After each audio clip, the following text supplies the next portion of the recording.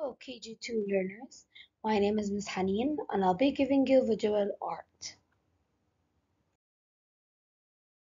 Theme 2, Sharing the Planet, where we will be talking about the key concept form, real concept, behavior.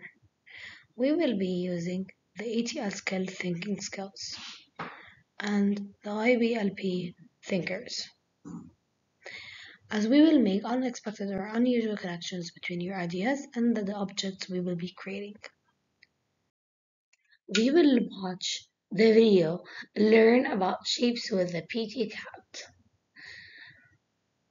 If you look at the right, what shapes do you recognize? Do you see a triangle? Do you see a circle? I want you to look around you and see a circle around you. Yes, it might be a clock that is a circle. There's also a rectangle. Do you see a rectangle around you? Yes, your bed might be a rectangle. There is a triangle. What things do you see around you as a triangle. Let me introduce our author, Eric Carle.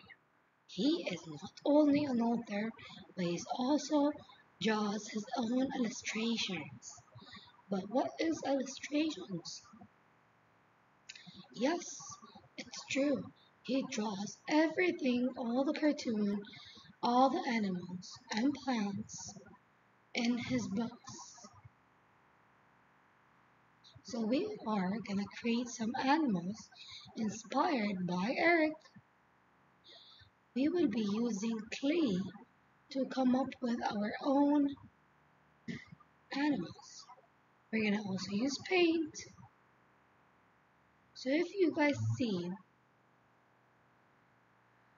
our animals, it's true. An example of animal is such as a caterpillar, a cow, a lion, a cat, a fish. These are all examples of different animals.